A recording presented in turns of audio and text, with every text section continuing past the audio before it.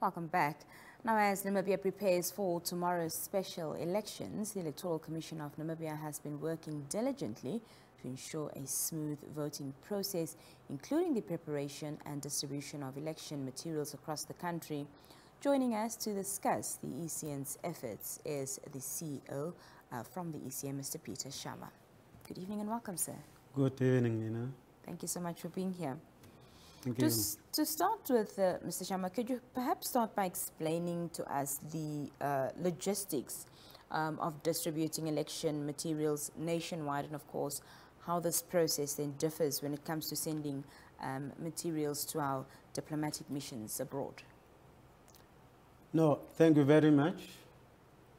Let me greet our viewers and the nation at large.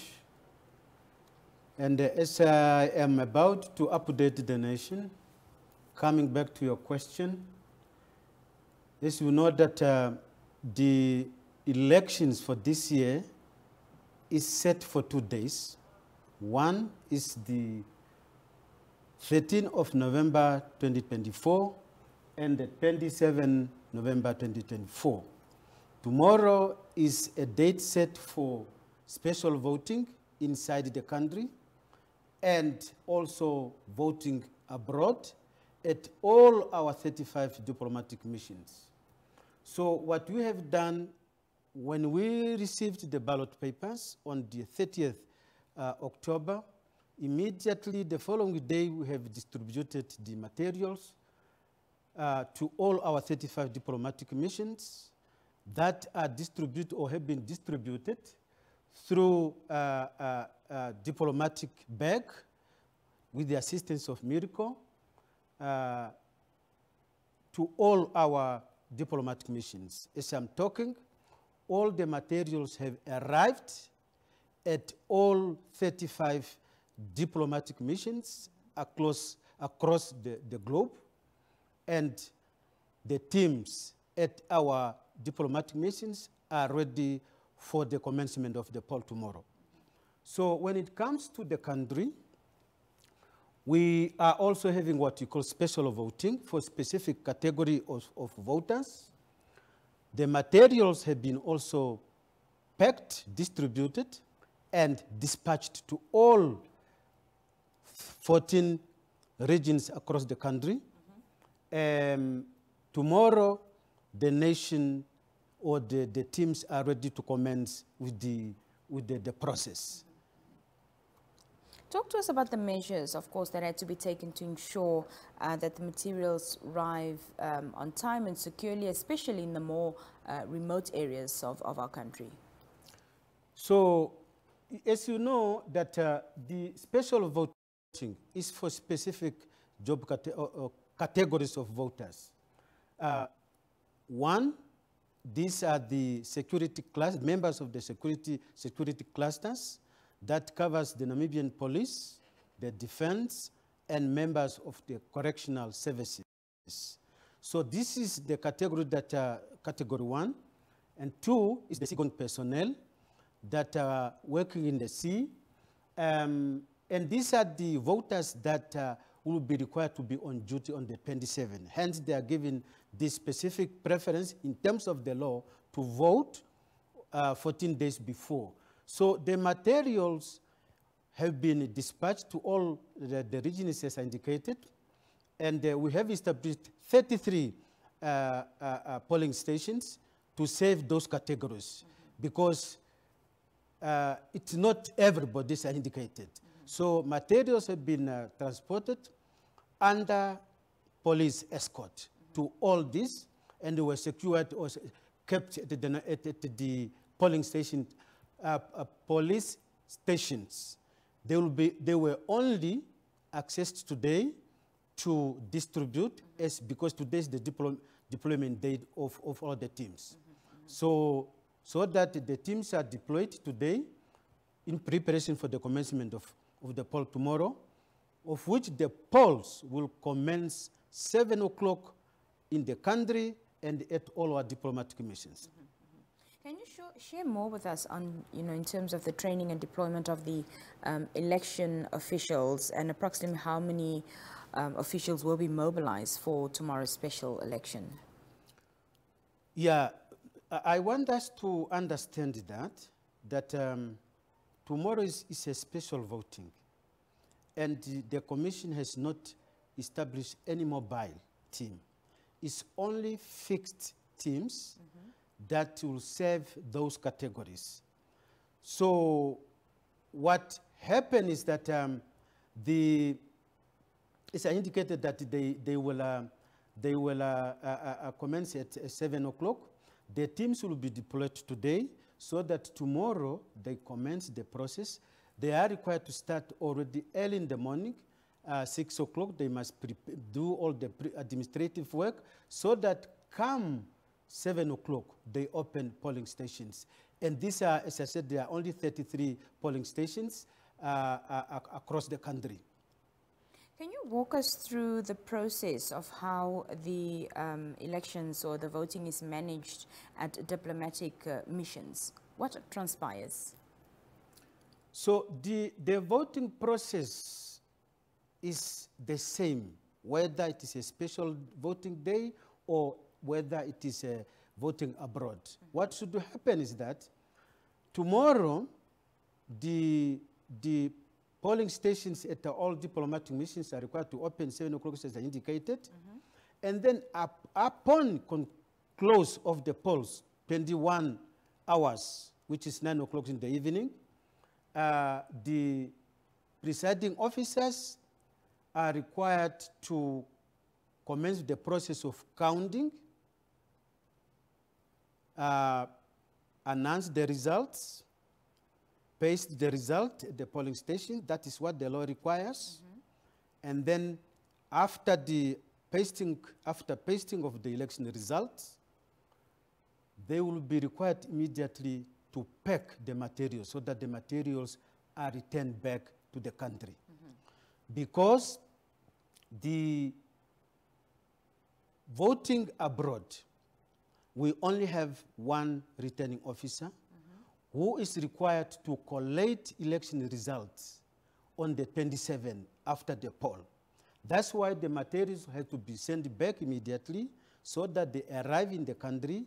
They are kept safe at our stores until the 27th when the returning officer for the diplomatic missions is, required to commence with the collation of all the 35 uh, diplomatic missions to have a total uh, figure for all the 35 diplomatic missions. Mm -hmm. Once the results have been counted and um, posted at the voting stations, when does the ECN make the results known to the general public? You see, the, the law requires that immediately after the, the counting announcement, you paste the result at a polling station. Mm -hmm. What does it mean? The moment you paste the, the uh, election result, it becomes a public document.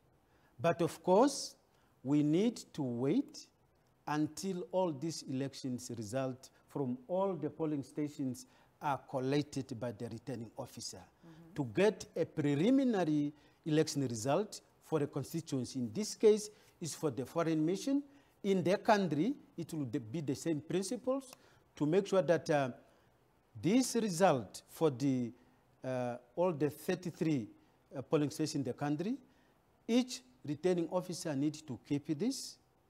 Of course, the process is the same to announce, to count, announce, and paste the result inside the country also. But the collation will only take place on the 27th together with all the, uh, the, the re election result or the votes that will be counted mm -hmm. the, after the, the, the, the, the, the, the, close of the poll on the 27th. Right. So we need to understand that. So all this that will happen tomorrow will remain still preliminary mm -hmm. until all these are collated together by the respective uh, returning officers and they still remain preliminary until they are sent to or transmit it to head office, to the National Election Results Center, where the commission will collate the national election result that will be referred to as final nation, national election results. Thank you very much for that uh, clarity. Also, Mr. Shaama, we know, of course, that there's still an, elect uh, an ECN has, the ECN has um, an elections or electorate um, calendar. Uh, so what's next on the agenda after the special voting and the abroad voting happens tomorrow? What is, is next on the ECN's calendar? Yeah, I think it is it's, it's very important to, for me to, to highlight the following. That uh, when we released the, the, or launched our calendar, we have shared five key dates and electoral activities that are statutory and fundamental to the electoral calendar. These dates are the dates for the uh, uh, general registration of voters, uh, which was from the 3rd to the, uh, uh, June to the 1st August, and then the nomination of independent candidates on the 14th, the nomination of uh, uh, uh, uh, uh, by political parties, in, uh, uh, presidential candidates and members of parliament on the 16th, those are all fully executed. The fourth date is the, thir the 13 November 24, 20, 24, which is we are to execute it tomorrow. The last one is the, on the 27th, and all the uh, uh, 27 of, of November, and all the related activities. So when you look at now to the dates that are related to the, to the activities that are related to, to the 27, number one, we are in the process now to pack and distribute this non-sensitive material. We have already started uh, on, on Monday uh, so that these materials are dispatched to all 14 regions in preparation of the 27. Is the training of uh, uh, election agents and accounting agents submitted by political parties because they are required to, to, to, to, to, to appoint election agents is the training of uh, election officials that will man the elections on the 27, which we are talking about 17,000 unemployed Namibians. And then it's now the deployment of the, of the, of the, uh, uh, the, the teams. But before that, they also, the law also requires the commission to issue duplicate voters' cards to those voters who will have their cards lost or damaged.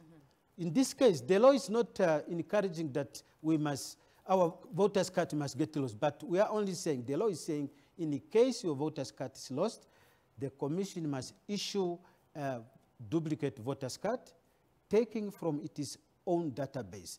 And that process will take place from the 18th to the 26th November to allow for those who have lost, have their cards lost or damaged, to apply for a duplicate. That will be even written duplicate because it will be just generated from the database. Mm-hmm. And then it's also not for free. A person or a voter must go to the police, make a poli police declaration mm-hmm. to state the circumstances why he or she is applying for a duplicate. Well, Mr. Shaama, that's unfortunately all the time we have this evening, but thank you so much uh, for joining us tonight. I'm sure we'll be speaking to you uh, again in the coming weeks. It was a pleasure engaging with you, and we are looking forward to further engagement as we are nearing the 27, because 13 is already over. Thank you very much. Thank you so much. Have a blessed evening. That was uh, Mr. Peter Shaama in conversation with us there. We'll be right back after this very short break.